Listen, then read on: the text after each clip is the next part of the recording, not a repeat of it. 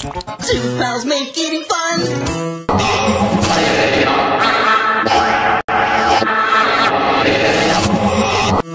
Now we games left. Two pals make eating fun.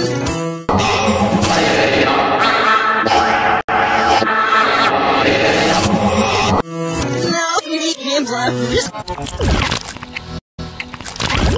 Two pals make eating fun.